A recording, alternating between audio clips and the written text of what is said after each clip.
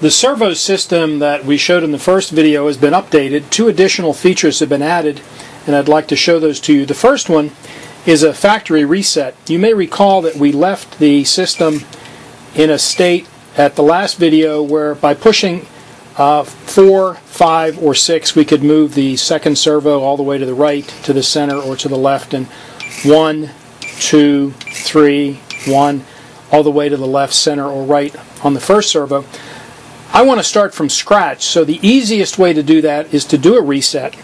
And to do the reset, first thing we need to do on the TV remote is hit the return button, get the attention of the interface, press the V-chip button, that's a button that's normally not used, and you'll see the LED begins to flash rapidly.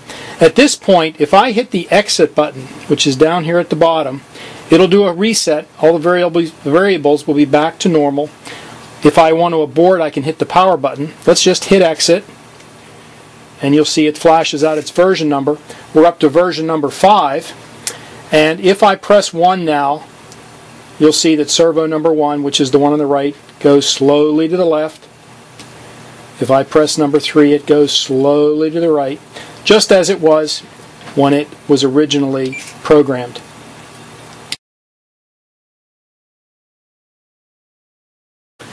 The second thing that I'd like to show you is uh, a way that you can program the system so that instead of using three buttons to control servo number one, button one again goes to the left, button two to the center, button three goes to the right.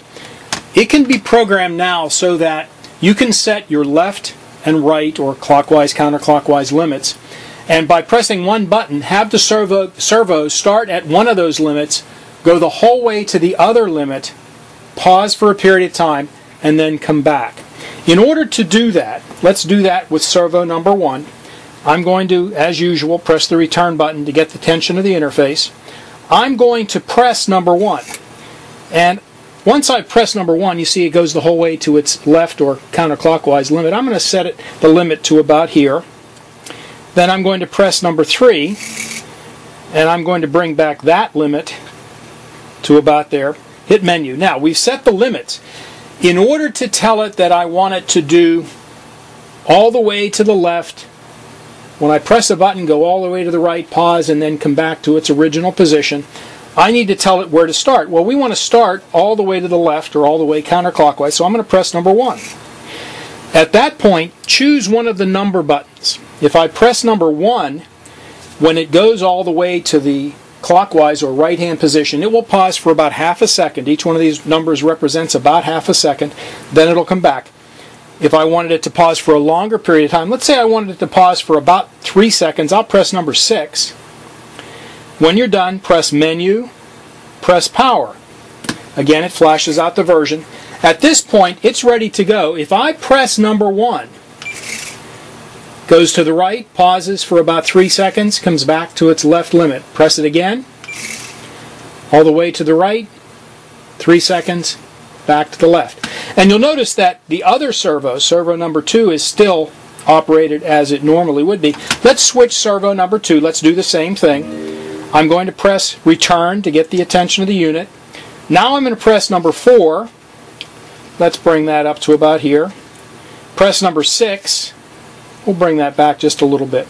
Okay, this one we want to start all the way to the right, go to the left, pause for a period of time, and then come back. So what I'm going to do is uh, press number 6, then I choose a number. Again, let's choose a small number. Let's choose number 1.